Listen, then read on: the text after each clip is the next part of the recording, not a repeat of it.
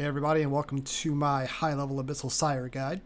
So a short disclaimer before I get into this. Yes, this guide is tailored for higher level players who have higher level gear and stats. However, the strategy for killing the boss is the exact same regardless of what levels you are and what gear you have. So just thought I'd throw that out there before anyone comments on how they should kill the boss at a certain level.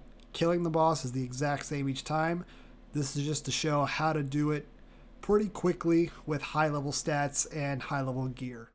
So apart from the obvious 85 Slayer requirement for the Sire, I would highly recommend to have at least 88 magic. This is so you can cast Shadow Barrage. Now recently all the Shadow spells were updated at Sire so that each tier has a different percentage of stunning him. The lowest tier spell has a 25% chance, the second tier has a 50% chance, third tier has a 75% chance, and the Shadow Barrage is a 100% stun. So it's highly recommended to have at least 88 magic for this boss. 75 plus range just so you can use the blowpipe and the accumulator. 90 plus melee, this is up for debate. I chose to say 90 plus melee because I believe it personally is a decent amount of levels that a lot of people may have and it's plenty enough to get this boss killed in a timely manner and then 70 plus prayer for piety. Piety will make all the difference. These stats are completely up for debate. If you think there are certain stats that you think could be lower or higher, that's your personal preference. But these are those stats that I would at least recommend those who are comfortable with the boss and know what they're doing for the most part.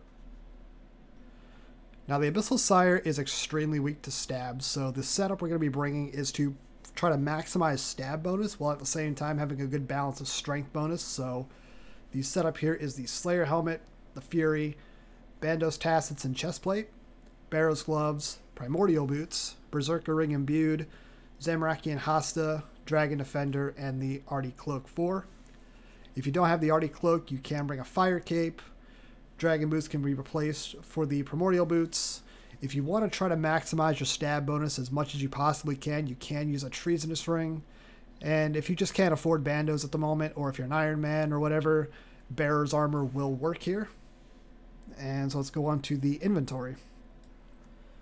So my inventory for the Sire consists of six Stamina Potions, two Super Combat Potions, an Antidote Plus Plus, Crystal Halberd, Accumulator, Toxic Blowpipe, Desert Amulet 4, the quest cape, a rune pouch, and a decent number of air runes. Now, if you don't have the Lumbridge Elite Diary done, you do need to bring a Lunar slash Dramen staff with you.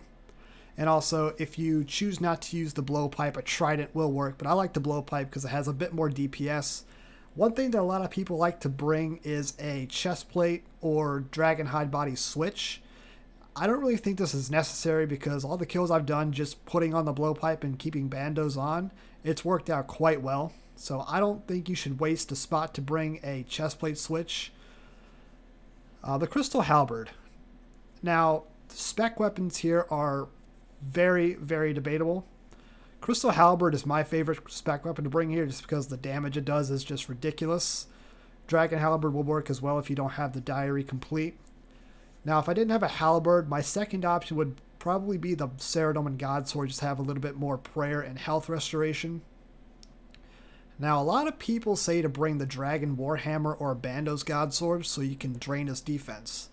The problem with that is the Sire's defense is already pretty dang low, and I really don't feel like those specs help out too much, so I prefer to bring a spec weapon that can just deal a whole bunch of damage, and the Crystal Halberd does a lot of damage for me. Uh, the Desert Amulet is just my teleport out, and you can bring a Teletab, or you can use the Ardy Cloak Tele if you have that. The Quest Cape is to get me to a fairy ring faster. Recently, they added the perk to the Quest Cape to where it teleports you right outside the Legends Guild, so that is now the closest teleport near a fairy ring. If you don't have the Quest Cape, you can bring a Slayer Ring, or you can bring uh, just your Ardy Cloak and teleport to the Kandarin Monastery, run east to the Tower of Life, and there's a fairy ring there. Any kind of fairy ring you can bring, or any kind of fairy ring you have access to, is perfectly fine. And then the rune pouch. This is full of death runes, blood runes, and soul runes. This is so I have my runes in there for casting Blood Barrage.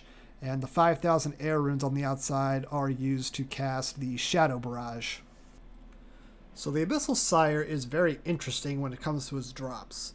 Now its basic drop table is actually not too bad. It's got a lot of noted rune armor, rune swords, magic logs, pure essence, battle staffs, a lot of skilling kind of supplies. But then it has the Unsired. Now the Unsired is the unique you get from the Abyssal Sire. It's a 1 out of 100 drop rate. Now if you get the Unsired, what you do is you take this to the Font of Consumption, which is located just inside the fairy ring. You use the unsired on this font and it will return you with a random item, which is now listed on your screen, and I also provided the rarity for each item.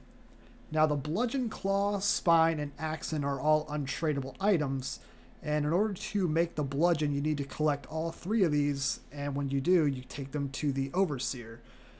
When you talk to the overseer, he will make you the Abyssal Bludgeon, and afterwards he'll disappear and leave behind the Overseer's book. And when you take this book, this is what you'll use from now on if you collect all three pieces again to make the bludgeon.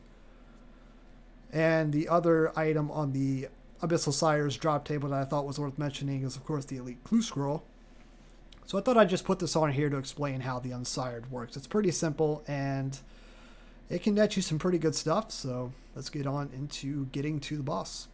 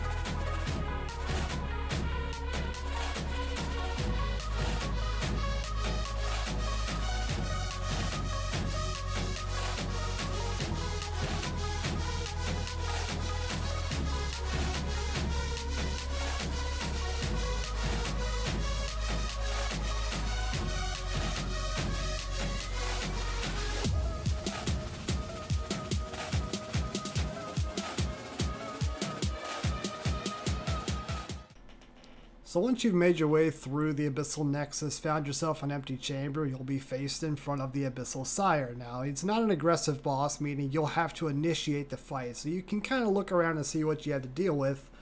Obviously, you've got the Sire, but also you've got the respiratory systems, as well as the tentacles. Now, what you have to do with the Sire is you have to disorient him so that he falls asleep and he can't use the tentacles when he uses the tentacles, they can do a lot of damage to you rapidly, and it severely impacts the amount of damage you can do on the respiratory systems, which you need to destroy. And I'll go ahead and show you kind of a generated area of where you can stand, where the tentacles will not hit you, and what areas they will hit you in if you end up standing in those areas. The areas in red are kind of a baseline of where your character will most likely be standing if he does hit that area, but everything to the sides of those are also able to be hit by the tentacles. So if you're near the respirators, you're also at risk of being hit by the tentacles. So to start off the kill, you basically want to wake up the sire by attacking him with the blowpipe. Two hits on him with long range on the blowpipe will be enough to wake him up and activate the tentacles, and then casting a shadow barrage on him to stun him will allow you to go and attack the respirators. Respirators are pretty easy to kill. Sometimes it can be a bit of a frustration because you do hit a lot of zeros a lot of the time. But for the most part, one stun is enough to get two respirators killed before he wakes back up again.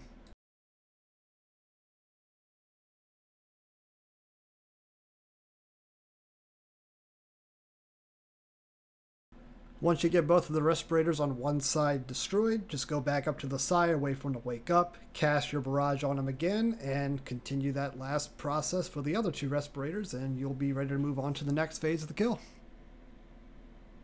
Once all the respirators have been killed, put on your melee gear, and there will be like a little line in the middle of the room right where my cursor's at. You're going to stand on that line, pot up, and activate Protect from Melee. Now, as soon as you see the attack option on the Sire, you want to instantly go and attack him. Now the Sire has a couple of different attacks he can throw at you. He's got his basic attack, which I'll show right now. That attack is his basic melee attack. That will be protected pretty much the entire fight. Now his second attack is a little bit more aggressive, and I'll show that one right now.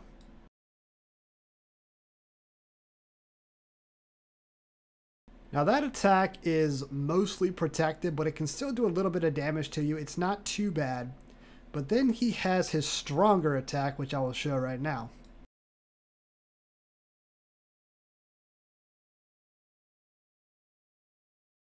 Now, when he hits you with those two whips on his back, that can do about 25 damage even through your protect from melee. If you're not protecting melee, that can potentially do about 60 damage max, I do believe.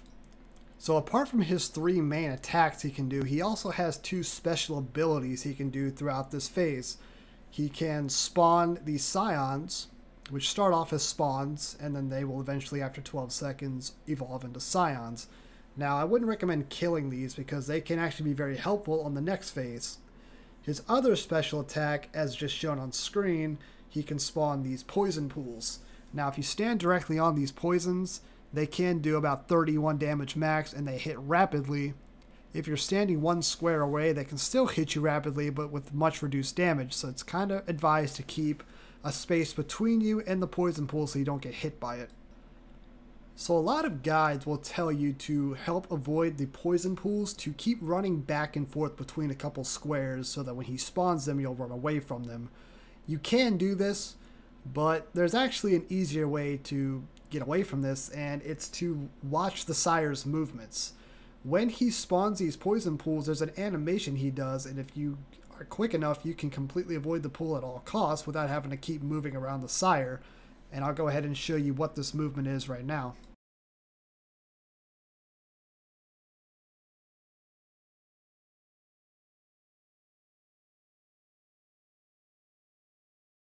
So as you can see, before he throws down this poison pool, he kind of constricts his body.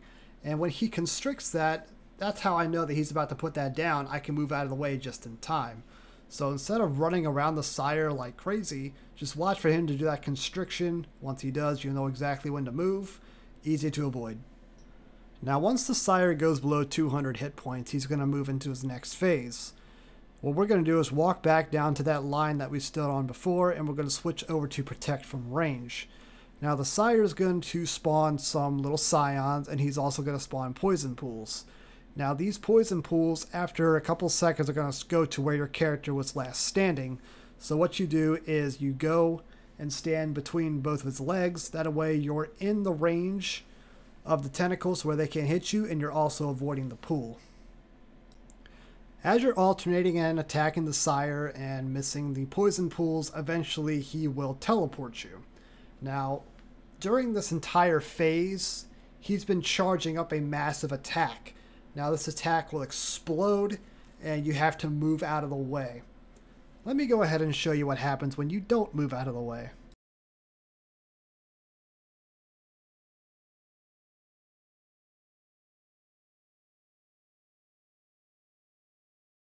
Just to clarify, yes, that was done on purpose just to demonstrate what happens when you take that explosion.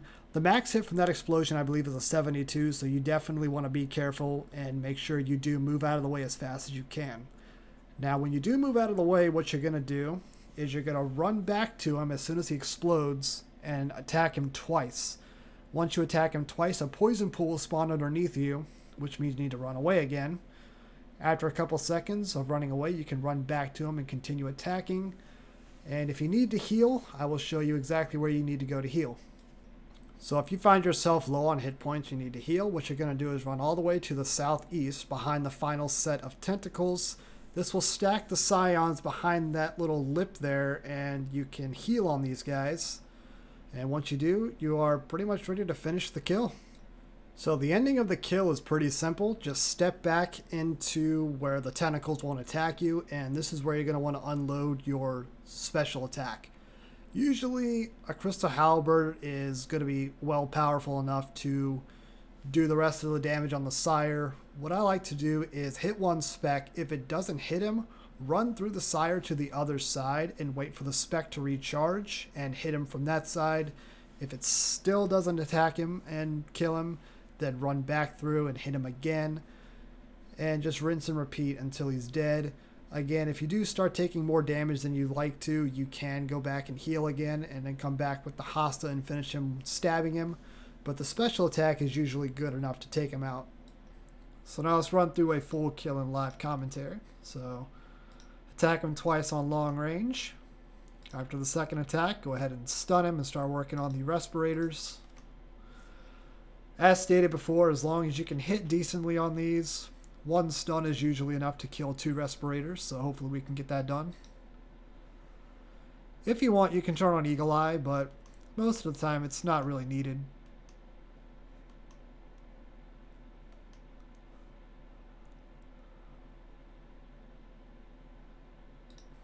there we go. Move back out and re-stun. And let's start working on these two.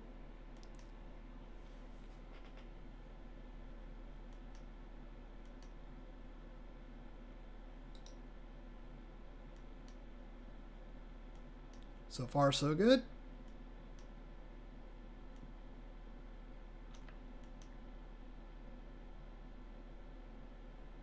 Excellent. So now let's put on our stab gear and stand on this little line here. As soon as he starts coming towards us, we'll put on our quick prayers, wait for the attack option to come up, and immediately hit him. There it is.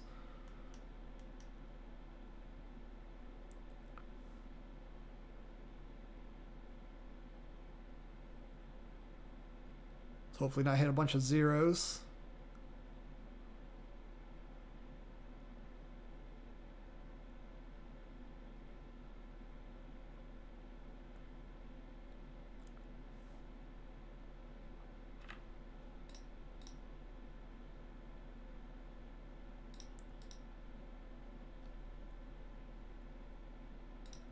So as you can see, he constricted a little bit there. I knew he was going to throw out the poison pool. I was able to move just in time. He did it again, but I was already on the move.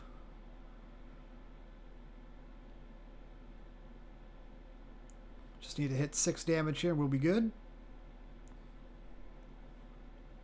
There we go. One more hit and stand back on our little line here. Let's get our prayer up a little bit. Now we do our moving between his two legs.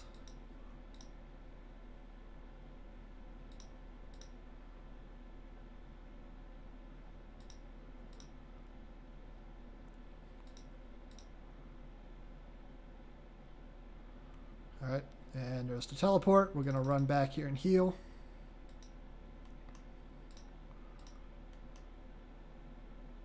Let these guys stack. There we go. And let's go ahead and try to get some specs in here.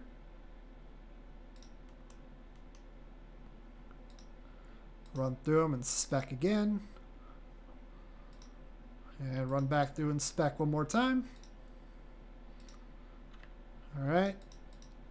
Let's just get a quick heal here and then just run back at him. And there we go. Well, if you made it this far, I want to thank you for watching. Hope this guide helps you all out in the long run. Like I said, it's tailored more for high-level players, but the actual strategy for killing the boss itself is going to be the exact same for everybody. So, hope you guys enjoyed the guide. If you did, a rating would be appreciated. And if you want to see any more guides, possibly in the future, let me know, and I can try my best to make that happen. Until then, see you all later.